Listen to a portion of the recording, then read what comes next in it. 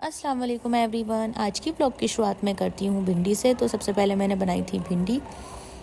सब चीज़ें मैंने पहले ही रेडी करके रखी हुई थी। मसाला ग्रीन चीज़ कट करके रखी हुई थी अनियन ज़ीरा टोमेटो अनियन को फ्राई करने के बाद हम निकाल लेंगे और ज़ीरा डालकर ग्रीन चिलीज़ ऐड करेंगे और बहुत अच्छे तरीके से भिंडी को फ्राई करके मसाला ऐड कर देंगे और जो हमने ब्राउन अनियन रखी थी उसको ऐड कर देंगे और बहुत अच्छे तरीके से इसको पका लेंगे। देखिए इस तरह से आ, भिंडी जो है वो रेडी हो जाएँगी।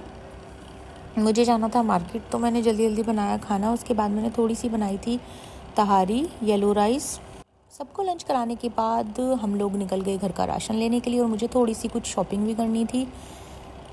हमेशा की तरह मैं जाती हूँ गोयल स्टोर तो मैं वहीं से शॉपिंग कर लेती हूँ। एक तो इसमें बहुत बड़ी खासियत ये है कि सारी चीज़ें एक ही जगह होती हैं तो ज़्यादा परेशान होने की ज़रूरत नहीं पड़ती। टाइम बहुत ज़्यादा कम रहता है हमारे पास तो हम जल्दी से शॉपिंग कर लेते हैं सारी। तो मैंने सबसे पहले मैंने मैगी ली, क्योंकि बच्चों को आजकल काफ़ी पसंद है। उसके बाद कुछ खाने पीने का सामान बच्चों का, और कुकीज़, नमकीन, ये सब जो नॉर्मली सभी शॉपिंग करते हैं इस तरह की अपने घर में।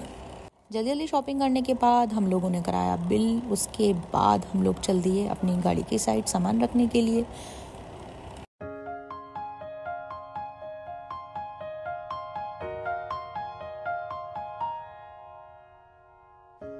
उसके बाद हमने ख़रीदी स्ट्रॉबेरी, कुछ फ्रूट्स, फिर हम लोग चले गए मीना बाज़ार। में ज़रूर मीना बाज़ार जाती हूँ। जब भी मैं गाज़ियाबाद आती हूँ तो मैं मीना बाज़ार ज़रूर जाती हूँ और मुझे जो सूट समझ में आता है तो मैं ज़रूर शॉपिंग कर लेती हूँ। उसके बाद साइड में था स्टेलोडोज तो मैं स्टेलोडोज पे गई। हमेशा मैं लाजपत नगर जाती हूँ, लेकिन इस बार गाज़ियाबाद में भी ये ओपन हो गया है तो मुझे बहुत ज़्यादा खुशी हुई और वहाँ से भी मैंने शॉपिंग की। उसके बाद में शॉपिंग करने के बाद निकल गई। शॉपिंग से फ्री होने के बाद हम लोग निकल गए थे घर के लिए। उसके बाद क्या था? हम लोगों ने खाई टिक्की।